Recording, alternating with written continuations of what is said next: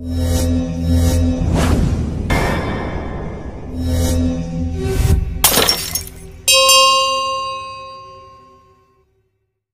ini akan mengulas tentang uh, surround system 5.1 Dolby Atmos yang videonya sudah saya upload jauh sebelum ini. Jadi kalian harus lihat videonya dulu baru meneruskan ke video yang satu ini karena ini adalah sambungan dari atau detail dari pembuatan uh, surround system 5.1